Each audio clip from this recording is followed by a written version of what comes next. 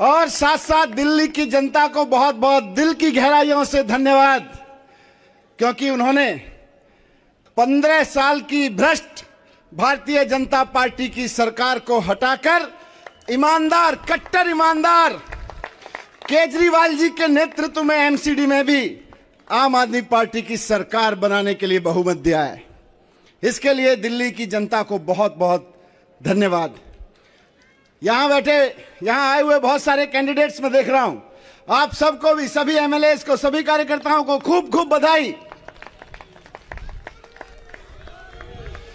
आज दिल्ली ने दिल्ली ने सिर्फ़ केजरीवाल जी को जिताने का मैंडेट नहीं दिया, बल्कि पंद्रह साल से एमसीडी को लूट रही और दिल्ली की जनता को लूट रही, भारतीय जनता पार्टी को हराने का मैंडेट दिया है।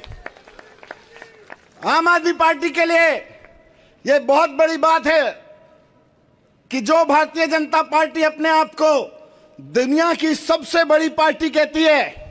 पंद्रह साल से भारतीय जनता पार्टी एमसीडी की सत्ता में थी।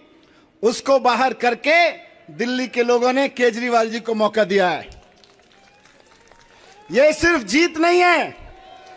यह सिर्फ़ जीत नहीं है, बल्कि एक बहुत बड़ी ज़िम्मेदारी है। दिल्ली को साफ़ करने की ज़िम्मेदारी, दिल्ली को चमकाने की ज़िम्मेदारी, दिल्ली के एक एक गली को शानदार करने की ज़िम्मेदारी। तो मैं इसके लिए सभी कार्यकर्ताओं की ओर से हमको लीड करने के लिए अरविंद केजरीवाल जी को भी धन्यवाद करना चाहता हूँ कि उन्होंने अपने विजन से, अपने कार्य से, अपने दूरदृष्टि से देश को एक ऐसी राजनीति दी है जिससे लोग काम की राजनीति को वोट करते हैं। मैं आगे के लिए अब अपने भाई और